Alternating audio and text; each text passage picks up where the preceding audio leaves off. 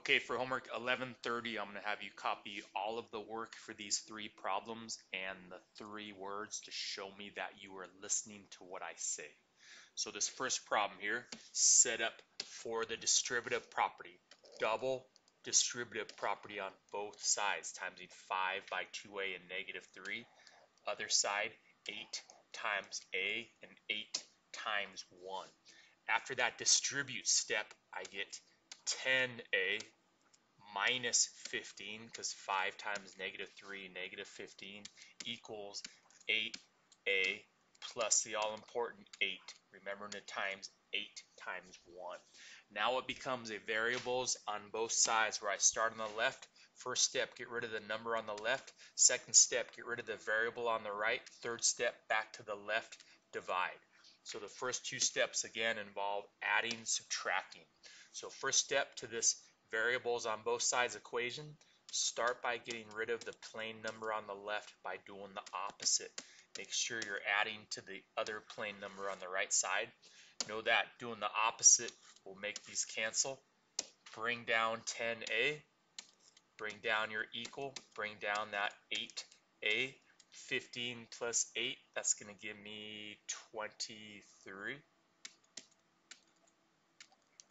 Stay on that side of my equation now and eliminate the 8a by doing the opposite, minus 8a minus 8a. First two steps involve adding, subtracting things. Only this third step involves something different than adding or subtracting. It involves division. So dividing by 2, it's going to give you a decimal for this one. Sorry about that, but that's okay. Not too bad. 23 divided by 2. If I do that on my calculator, I'm not taking the risk with my arithmetic. That gives me 11.5. First word is buffalo. Buffalo is the first word. Know that this is a single variable equation, not like one of those system ones where you have an answer for x and y to plug in.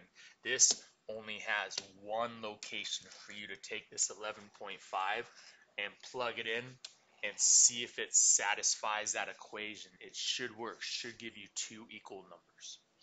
All right, next problem. This one, you are going to distribute and then combine like terms. So I'm going to time this negative 6 times 2x, negative 6 times negative 3, when I'm done distributing, I'm going to combine like terms. So negative 12x, negative 6 times negative 3 plus 18 plus 8x. Bring down my equal negative 2x plus 10.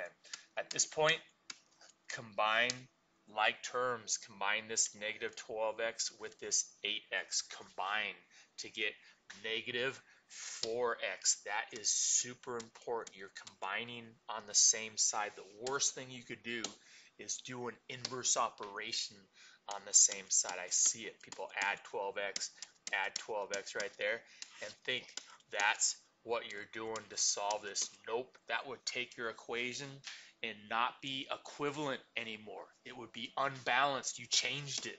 But if you instead combine these, your equation is still equivalent, still the same.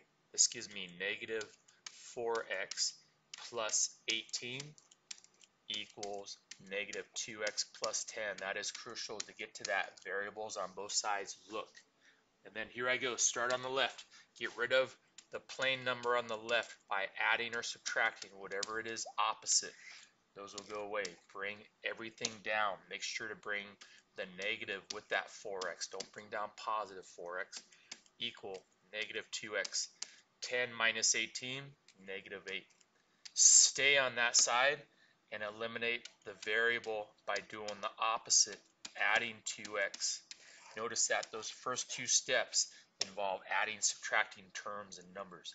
This gives me negative 2x. Might want to use a calculator. Negative 8. Third step, of course, different than adding, subtracting terms, division. Make sure that you're dividing by negative 2, not just 2. Negative 2. that will cancel and give you positive x. and then negative 8 divided by negative 2, positive 4. All right, first, second word is reservation. Reservation. All right, here you go. Next problem, last one. Distribute a negative fraction. Oh no. So when I times this fraction, know that that negative 3 fifths times that 10x over 1, you're timesing straight across. I'm timesing that negative 3 times 10 to get negative 30x. I'm timesing that 5 times 1 to get 5. And when that all shakes down, it'll end up being negative 6x. There's another way you could get that negative 6x2.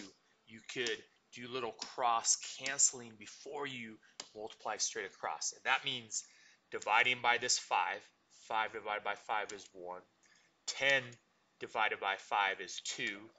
And then if I times what I got left over, negative 3 times 2, 1 times 1, another shorter way to get straight to that being negative 6x right there. I'm not sure what you want to do.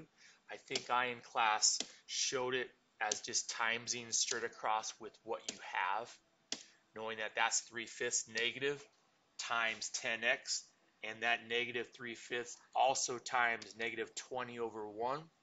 If I do that correctly, that gives me 18 equals 12x minus, when I go straight across, 30x over 5 plus, when I go straight across over there with those numbers, it's going to be 60 over 5.